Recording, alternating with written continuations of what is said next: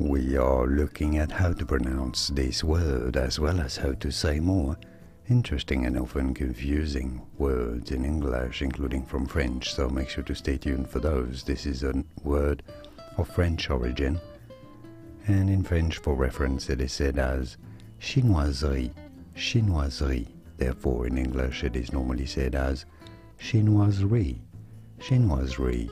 And now you know more videos here on how to pronounce more interesting words and names whose pronunciations aren't always obvious. Do you know how to pronounce those correctly?